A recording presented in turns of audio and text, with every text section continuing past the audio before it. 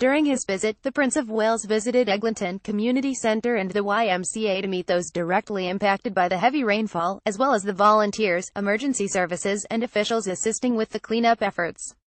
Rural Support discussed with His Royal Highness how the extreme weather conditions had a devastating long-term effect on farming businesses in the area in particular.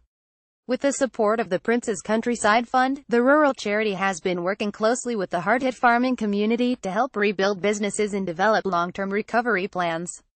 The large storm hit Northern Ireland on the 22nd of August 2017, with 63% of the area's average August rainfall falling within a nine-hour period.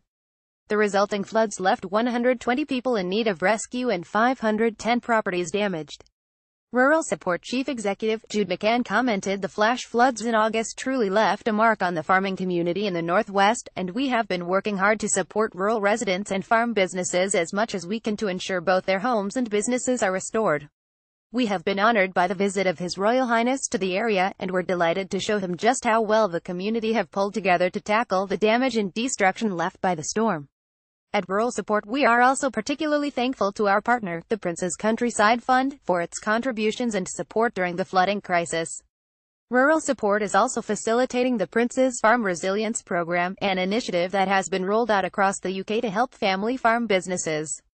There is now a waiting list for the groups in Enniskillen and Antrim but Rural Support hopes to coordinate more groups in the future. Since 2002, Rural Support has been helping farming and rural families across Northern Ireland on a wide range of issues from finance and debt issues, succession planning concerns, physical and mental health issues, farming paperwork, technical and enterprise issues.